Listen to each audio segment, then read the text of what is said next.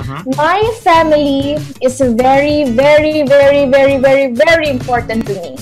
Mhm. Talaga. Number one sila sa buhay ko. Kung ipapakilala ko kayo sa family ko, ano ang gagawin nyo para mapasaya yung family ko? Oh.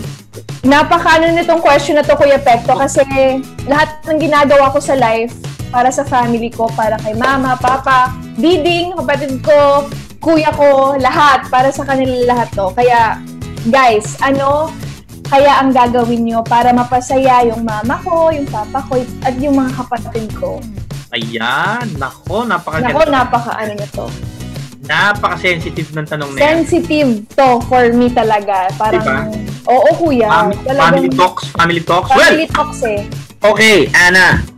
Dahil ah, kanina inuna natin si ah, si JB, tapos inuna natin si Nelly. Mhm. Ngayon, unahin naman natin si searcher number one. Ayan, si Win. Searchy pala, Searchy sorry. number one, searchy number one, Okay. ikaw daw ang mauna. Go! Ano? Bilang isang family-oriented din na tao, kung sakali harap ako sa pamilya mo, gusto ko ipakilala ko, akala ko sino ako, truthfully. Dapat I'll be myself and be open. And gusto ko rin sila na ma-comfortable sila mag-usap sa akin. And and dapat din mag-usap din ako kung i-search ko yung ano, mga dapat gawin na ano, pausapan na like tulad ng taga Bacolod o taga Leyte, i i ano ko. Yun lang. Pero medyo na. Pero nagigets ko yung point niya. Feeling ko gusto niya sabihin is pag-aralan niya siguro yung mga salita Oo. namin. Oo. May kinakabahan nata siya. Nararamdaman ko sa screen. Kinakabahan si Win sa sinasabi niya. Pero, Nagigets ko yung point niya, kuya. uh, gets mo nga, Ana, na gusto niyang isa-isahin or yung mga parientes o mga kamag-anak Oo. na Oo. parang alamin niya, hahalukay niya ang mga buhay, gano'n.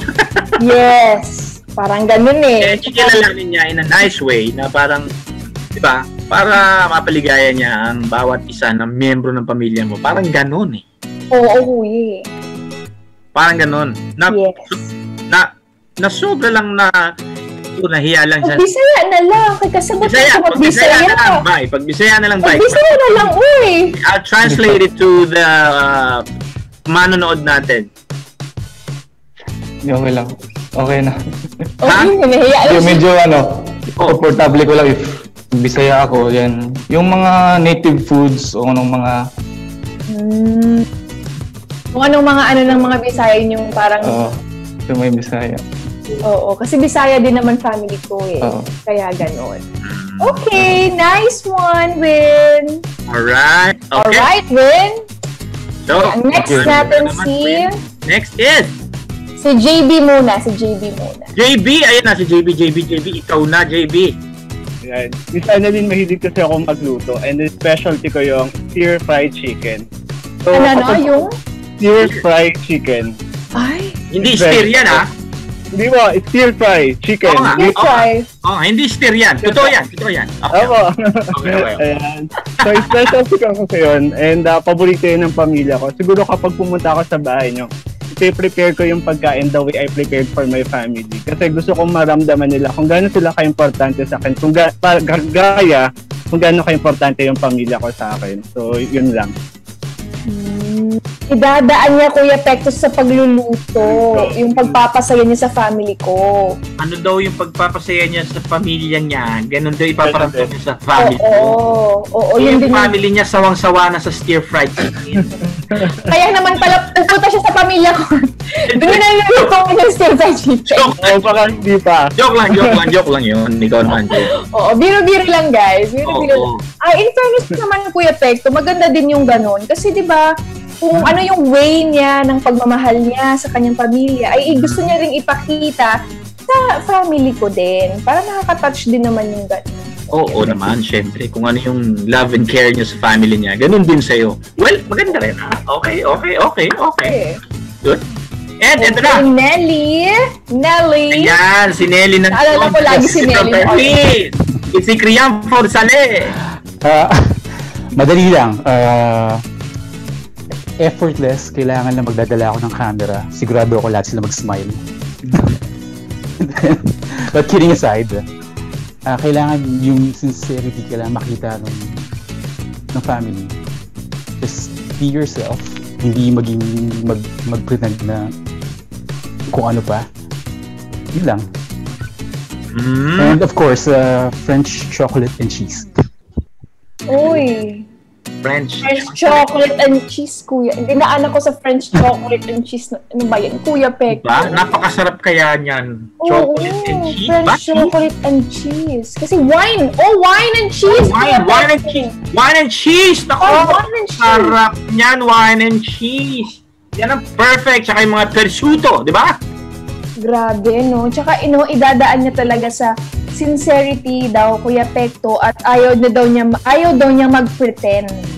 Tama. Yun ang the biggest ano Oo. thing na Ayaw niya mag-pretend eh. hindi mo kailangan Pero medyo nakuha ako dun talaga sa Diba? ayaw niya mag-pretend.